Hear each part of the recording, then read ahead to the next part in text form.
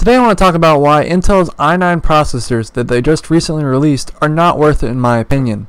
I want to make this clear. I will be completely unbiased with this episode and I'll just tell you the facts, even though my opinion is pretty much uh, displayed in the title of this video. Now, before you go on and assume that I'm a big fan of AMD Ryzen 7 processors simply because I have one, let me explain. Personally, for myself, um, I just care about the best that I can get for my money and not really a name brand.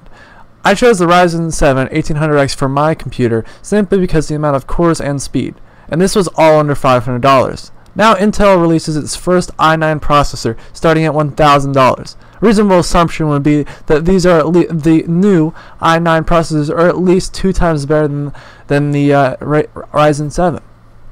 But this isn't the case. Actually, they're just a bit, slight bit better, and they um, have only two more cores and basically another two threads, and they're not necessarily extremely better. Um, but the 1800X has 8 cores and 8 threads compared to the new i9 processors which have 10 cores and 10 threads. And this is for $500 more. Now, this will not substantially increase performance in any way, and in my opinion, I think it's a waste of money. Obviously, $500 for just four extra processors is not that big of a deal. I would much rather buy a nice liquid cooler and overclock my Ryzen substantially to make an up and more improving my performance. Now I am aware that Intel is releasing more processors with higher amounts of cores and speeds, but I still see no need for the expensive prices. This does not include the cost of the motherboards that can fit to these processors. Uh, recently, I was just looking at the prices of these, and these new motherboards that accommodate for the new uh, shape of these processors cost. Um, they usually run $100 to $300 more expensive than a current um, i7 or a Ryzen 7 board.